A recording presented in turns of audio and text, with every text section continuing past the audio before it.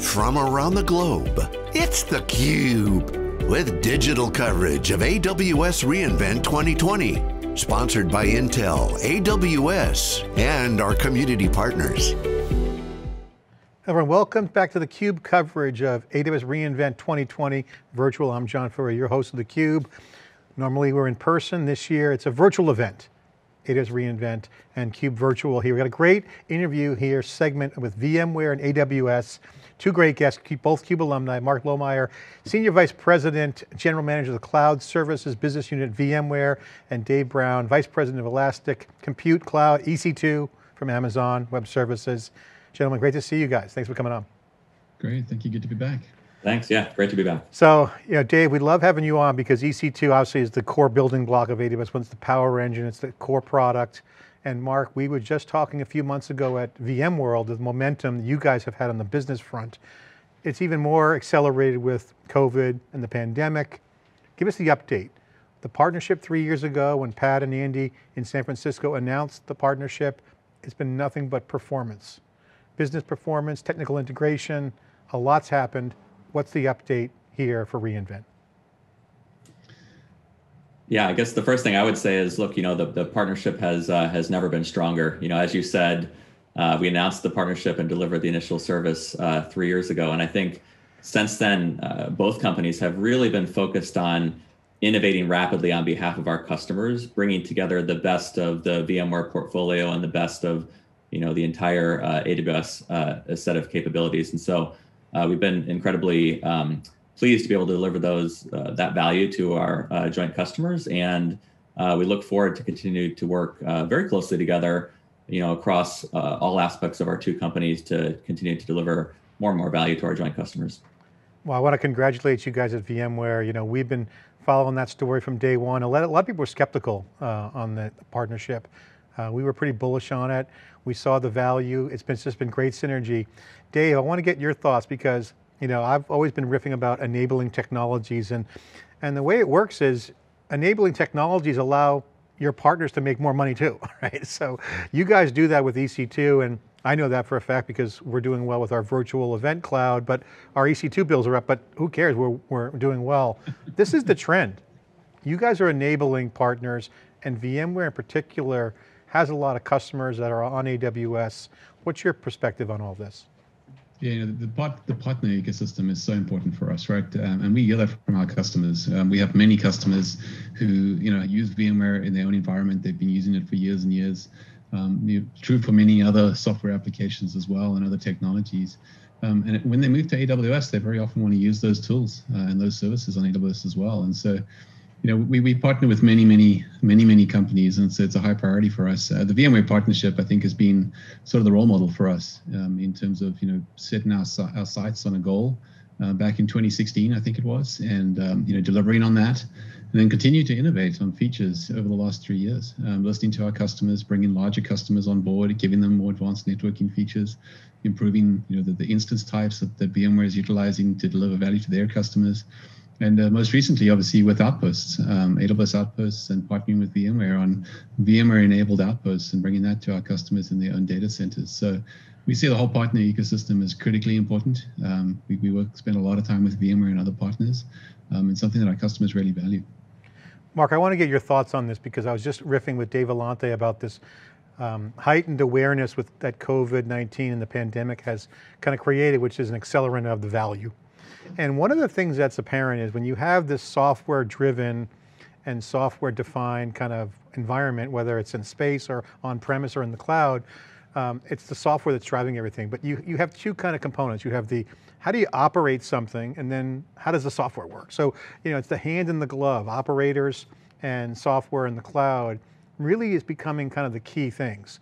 You guys have been very successful as a company with IT operations and now you're moving into the cloud. Can you share your thoughts on, on how VMware Cloud on AWS takes that next level for your customers? I think that's a key point that needs to be called that. What's your, what's your thoughts on that? Yeah, no, I, I think um, you hit the nail on the head. I, and I think, you know, look, every company is on a journey uh, to transform the level of capability they're able to offer to their customers and, and to their employees, right? And a big part of that is how do they modernize um, their application environment? How do they how do they deliver new applications and services? And so this has been underway for for a while now. But if if anything, I think COVID has only accelerated um, the uh, the need for uh, customers to be able to continue to go down that path.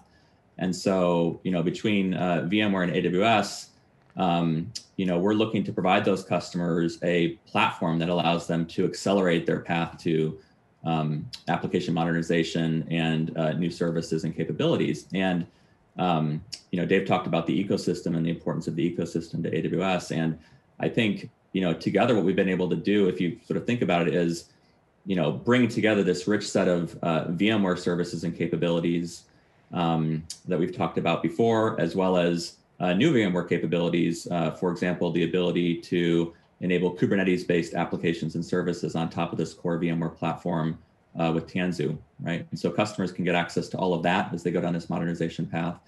But uh, you know, right next door in the same AZ is the 175 uh, native AWS services that they can use together in conjunction uh, with that environment. And so if you think about um, accelerating that journey, right, being able to rapidly migrate those VMware-based workloads into the AWS cloud, uh, when you're in the AWS cloud, be able to modernize that environment using uh, the VMware Tanzu capability, the native AWS services, and then the infrastructure that needs to come together to make that possible. For example, the network uh, connectivity that needs to be enabled um, uh, to take advantage of some of those services together.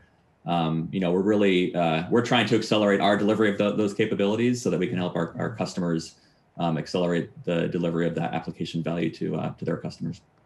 Dave, I want to get your thoughts on the trends. If you speak to the customers out there at VMware, customers that are on the cloud, because you know vSphere, for instance, um, very popular on AWS cloud with VMware Cloud, as well as these new modern uh, application trends like Tanzu, Project Monterey is coming around the corner that was announced at, at VMworld. What trends do you see from the EC2 perspective um, that you could share to the uh, VMware AWS customers? What's the, the key wave right now that they should be riding on? Yeah, I think a few things. Um, you know, we definitely are seeing an acceleration uh, in in customers looking to looking to utilize VMware on AWS. Um, you know, there was a lot of interest early on. Um, really, over the last year, I think we've seen more than 140% growth in the service, which has been incredibly exciting for both of us, and really shows that we we're providing customers with a service that works. You know, I think one of the key things that Mark called out when he was talking previously was uh, just how simple it is for customers to move. You know, often moving to the cloud um, gets muddled with modernization and it takes a long time for customers to kind of think about how do they actually make this move or are they stuck within their own facility or own data center um, or they need to modernize or move to a different hypervisor with VMware and AWS, you literally get that same environment on AWS. And so whether it's a, a migration because you want to move out of your on-premise facility, whether it's a migration because you want to grow and expand um, your facility without needing to you know build more data centers yourself, um, whether you're looking to build a DR site on AWS, um, and whether you're looking to just to you know maybe build a new application stack that you want to build in a modern way, um, you know using VMware and Tanzu and all the AWS services, all of those are paths that we're seeing from customers. Um, you know, I think I think as the customers grow, uh, the demand for features on VMware and AWS grows as well, and we put out a number of important features to support customers at really, really large scale. And that's something that's been exciting. It's just some of the scale that we're seeing um, from very, very large VMware customers moving over to AWS. And so I think, you know, a key message is if you have a VMware installation today and you're thinking about moving to the cloud, there's really little that needs to stop you in, in starting to move. It is is very simple to set up and very little you have to do to your application stack to actually move it over.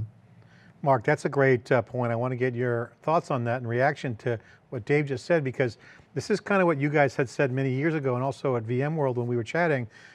Disrupting operations just to stand up the cloud shouldn't be in place. It should be easy.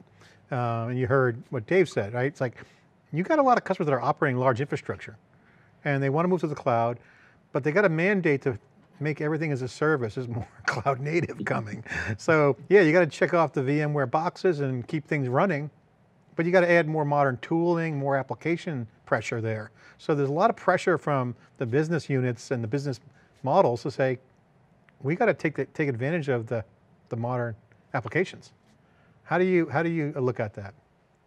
Yeah, yeah. I mean, I think, um, look, uh, making this as simple as possible is obviously a really important aspect of what we're trying to um, to enable for our customers.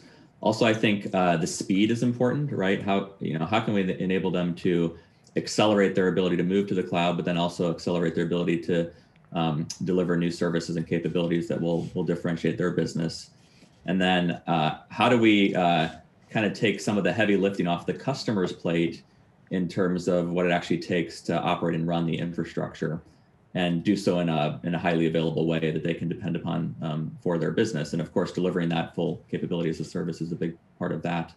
You know, one of my um, one of my favorite uh, customer examples uh, is uh, a company called Stagecoach. Um, uh, it's a European-based transportation company, and um, they run a network of buses and trains, et cetera. And um, they actually decided to use VMC and AWS to um, to run one of their most mission-critical applications, which is involved with uh, basically scheduling uh, scheduling those systems, right, and the people that you know the bus drivers and the and the uh, train conductors, et cetera. And so if you think about that application, right, it's uh, it's it's a mission critical application for them. It's also one that they need to be able to iterate, involve, and improve um, very quickly. And uh, they were able to take advantage of a number of fairly unique uh, capabilities of, of the joint service we've built together to make that possible um, you know, the first thing uh, that they did is uh, they took advantage of something called uh, stretch clusters, VMware Cloud on AWS stretch clusters, where um, uh, we basically take that VMware environment and uh, we stretch it, we stretch the network uh, across two AWS availability zones in the same region. Um, and then they can basically run their applications on top of that, that environment. And this is a really powerful capability because it ensures the highest levels of SLA for that application, four, four nines in this case. Um, if anything happens to um, uh, fail in one of those uh, AZs, we can automatically uh, fail over and restart the application in the second AZ. Um, and so it provides this high level of availability. But they're also able to take advantage of that without, on day one, and talk about keeping it simple, without on day one requiring any changes to the application itself, right? Because that application knew how to work in vSphere. And so knows how to work in vSphere in the cloud, and it can fail over on vSphere in the cloud. Um, and so they were able to get there quickly. They were able to enable that application. And now they're um, taking the next step, which is how do I enhance and um, you know make that application even better? You know, leveraging some of the VMware capabilities, also looking at taking advantage of some of the native AWS capabilities. So I think at that sort of speed, um, you know, that simplicity that you know helps helps customers down that path to delivering more value to their employees and their customers. That uh, you know, we're really excited that we're able to, to offer that uh, to our customers. I just love the philosophy that both companies work backwards from the customer, customer driven kind of mentality, certainly key here to this partnership and you can see the performance. But I think one of the differentiations that I love is the joint integration, the engineering that you guys are doing together. And I think that's a super valuable uh, differentiator for VMware. Dave, this is a key part of the relationship you know, when I talked to Pat Gelsinger and Andy again back three years ago, you know, you had Raghu from VMware was like, this is different. We're engineering together. What's your perspective from the AWS side when someone says, yeah, is that real? You know, is EC2 really kind of tied in there? And is Amazon really doing joint engineering? Uh, what do you say to that? Oh, absolutely. Yeah, it's very real. I mean, it's been an incredible, incredible journey together, right? Right, right from the start, we were trying to work out how to do this back in 2016.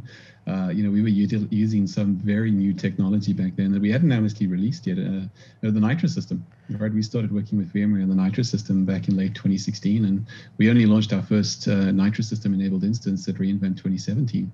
And so we were, you know, for a year having VMware run on the Nitro system internally, making sure that, you know, we would support their application and that VMware ran well and vSphere ran well on AWS. Uh, and that's been ongoing. And you know, the other thing I really enjoy about the relationship is is learning how to best support each other's customers uh, on on you know on AWS and on VMware. And uh, Mark was talking about stretch clusters and how VMware's you know utilizing the availability zones. And we've done other things in terms of optimizing placement with across you know physical racks within data centers. Um, you know, Mark and the team have put forward requirements around you know different instance types and how they should perform and best in the VMware environment. And we've taken that back into our instance type definition and what we've released there. So it happens at a very, very low level. And I think it's both teams working together um, frequently, lots of meetings, and then you know pushing each other, you know, honestly. And I think for the best experience at the end of the day for our joint customers. So it's been a great relationship. It helps when both companies are um, very fluent technically and pushing the envelope with technology. Both cultures I know personally are very strong technically, but they also customer centric. Um, Mark, I got to put you on the spot on this question because this comes up every year, this year more than ever, um, is the question around VMware on AWS and VMware in general, and it's more of a general industry theme, but I want to ask you because I think it relates to the AWS, um, VMware Cloud on AWS. Um, the number one question we get is, how can I automate my IT operations? Because it's kind of a no-brainer now, it's kind of the genie's out of the bottle, that's a mandate, but it's not always as easy as it sounds to do. You still got a lot to do.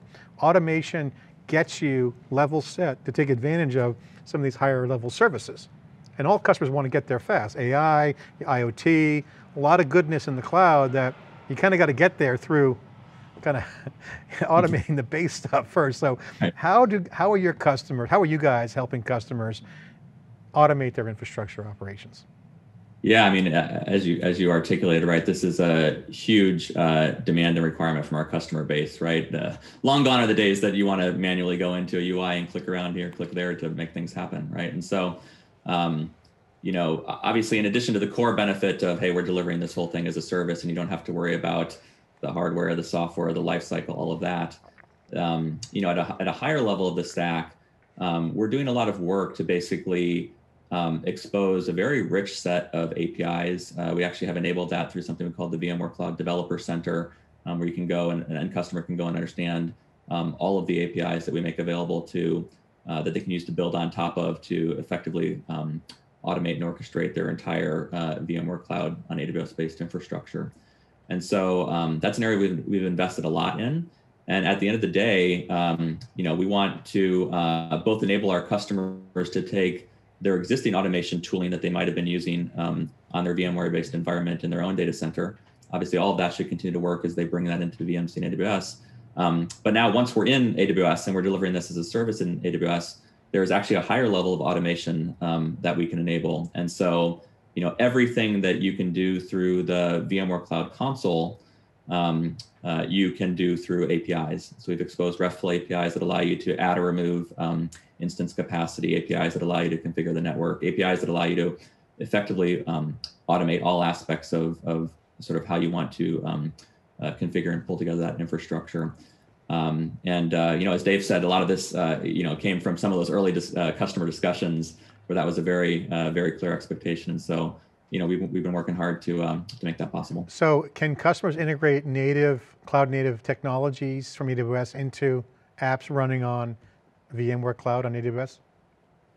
Yeah, I mean, I'll give you one example for, so we, you know, we've been able to support for CloudFormation, right, on top of VMC and AWS. And so that's, you know, one way that you can leverage these AWS tools on top of, uh, on top of VMC and AWS.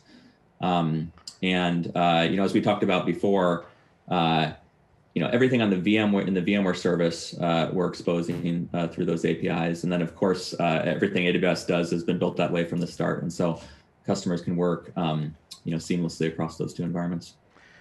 Great stuff, great update. Uh, final question for both of you. Um, Dave, we'll start with you. What's the unique advantages when you people watching this going to say, okay, I get it. I see the momentum. I'm now got to think about post-pandemic growth strategies. I got to fund the projects. So I'm either going to retool while I'm waiting for the world to open up to I got a tailwind. This is good for my business. I'm going to take advantage of this. How do they modernize their application? What are the unique things with VMware Cloud on AWS? What's unique? What would you say? I mean, I, I think the big thing for me uh, is the consistency. Um, the way that VMware built this between the vSphere on-prem environment and the vSphere that you get on AWS with VMC on AWS. Um, you know, when I think about modernization, and honestly, any project that I do, we do at Amazon, um, I, I, don't like projects that require an enormous amount of planning and then tooling, and then you know, you've this massive waterfall style project before you do anything meaningful. And what's so great about what we've built here is you can start that migration almost immediately. Start bringing a few applications over, and when you do that, you can start saying, okay, where do we want to make improvements? But just by moving over to AWS on VMware on AWS, you you you, you start to reap those benefits of being in the cloud know, right from day one, many of the things Mark called out about infrastructure management and that sort of thing. Um, but then you get to modernize after that as well. And so just the richness in terms of, you know, VMware uh, Tanzu, and then the, you know, I think it's more than 200 AWS services now. Um, you get to bring all that into your application stack, but at a time, at a, at a, at a cadence or time that, that really matters to you. But you can get going immediately, and I think that's the thing that customers really need to do.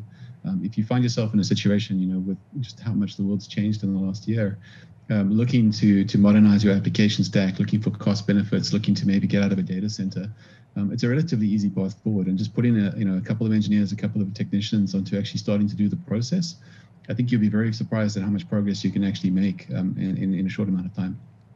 Mark, you're in charge of the cloud services business unit at VMware. I see VMware Cloud on AWS. Successful, more to do, a lot of action, Kubernetes, cloud native, automation, and the list goes on and on. What are the most unique advantages that you guys have? What would you say? Yeah, I mean, I would maybe just build on, on, on Dave's comments a bit. I think, you know, if we look at it through the customer lens, um, the ability to iterate and the ability to move uh, quickly and not being forced into sort of a one size uh, fits all model, right? And so uh, there may be uh, certain applications that they uh, run in a VM and they want to run in a VM forever. Great, we can enable that. There might be other applications that they want to move from a VM into a container or move into Kubernetes and do that in a very uh, seamless way. And we can uh, enable that with, uh, with Tanzu, right? By the way, they may want to, actually, many applications are going to require um, uh, complex composite applications that have some aspects of it running in Kubernetes, other aspects running in VMs, you know, other aspects connecting to some native AWS services. And so, you know, we can enable those types of, um, you know, incremental uh, value that's delivered very, very quickly that allows them at the end of the day to move move fast on behalf of uh, their end customers and deliver more value to them. So I think this this sort of philosophy, right, that um, that Dave talked about, I think is is one of the really important things we've tried to focus on um, together, but um, you know, on behalf of our, our, our joint customers, and you know that that set of capabilities just gets richer and richer over time, right? Both of us are continuing to innovate, and both of us are continuing to think about how we bring those services together as we innovate in our respective areas and how they need to link together as part of this this end-to-end solution. Um, so, uh, you know, that I think that's uh, you're going to see us continue to invest, continue to move quickly, um, continue to respond to what our customers together are, are asking us to uh, to enable for them. Well, really appreciate the insight. Thanks for coming on this CUBE virtual um, segment. Um, you know, virtualization has hit the cube where we have multiple virtual stages out there at reInvent on the site.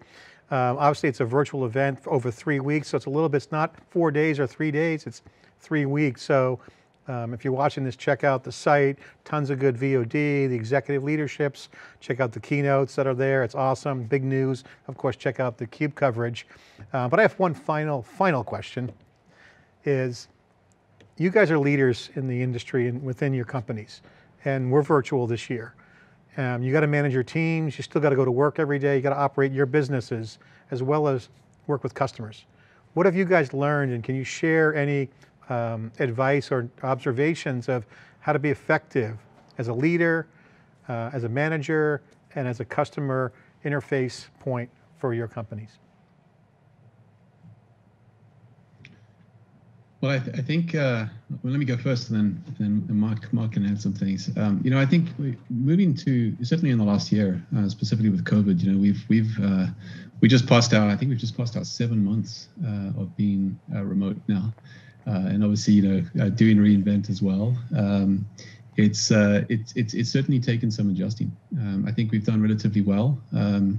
With um, you know going virtual, we were, we were well prepared at Amazon um, to go virtual. But but from a leadership point of view, um, you know, uh, making sure that you um, well, there've been some positives, right? So for one, I have I have teams all over the world, and uh, being virtual has actually helped a lot uh, with that. You know, everybody is virtual. We're all on the same stage. It's not like we have a group of us in Seattle and a few others scattered around the world. Everybody's on the same call now. Um, and has the same, you know, being able to listen to it in the same way. Um, but I've had to think a lot about sort of just my own time personally and the time that my team spends. I think it's been very easy for us to to, to run a little too hot. Uh, you know, we can start a little too early and run a little too late in the evenings. Um, and so making sure that we protect that time. And then obviously from a customer point of view, um, you know, we found that um, customers are very willing to engage virtually as well around the world.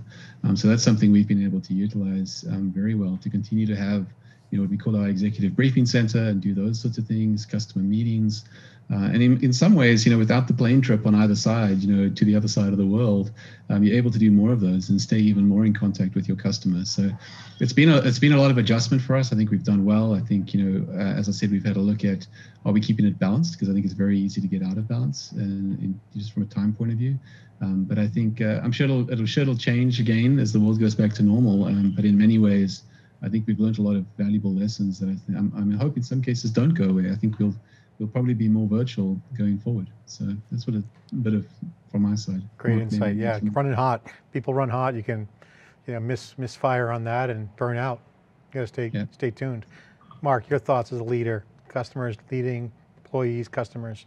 What have you learned? Yeah, yeah. I mean, in, in many ways, I would say a similar experience. I think, uh, I mean, if you sort of think back, right, uh, it's in many ways amazing that within the course of uh, literally a week, right, I think about sort of the VMware experience, we went from, uh, you know, 90, 95% of our employees, at least in the US, working in an office, right, to immediately all working from home.